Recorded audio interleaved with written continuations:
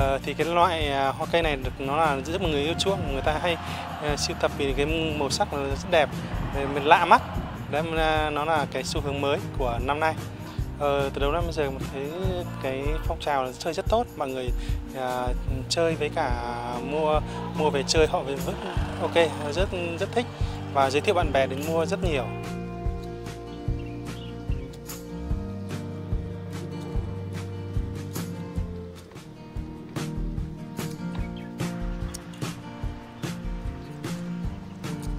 Cái hoa giấy ngũ sắc này thì có nguồn gốc từ bên Thái và mình nhập từ bên Thái. Việt Nam mình chưa có các loại cây này. Bất kể khắc nghiệt hay là mưa nắng nó toàn chịu được hết.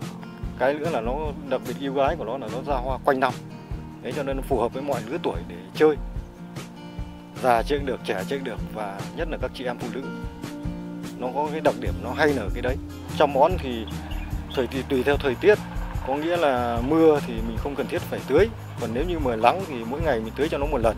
Thế cái cái đoạn thứ hai cái đoạn chăm ờ, phân ấy, thì nó cũng rất đơn đơn giản. Ví dụ như độ khoảng nửa tháng hoặc là 20 ngày thì mình tưới cho nó một ờ, ít ờ, phân hóa học.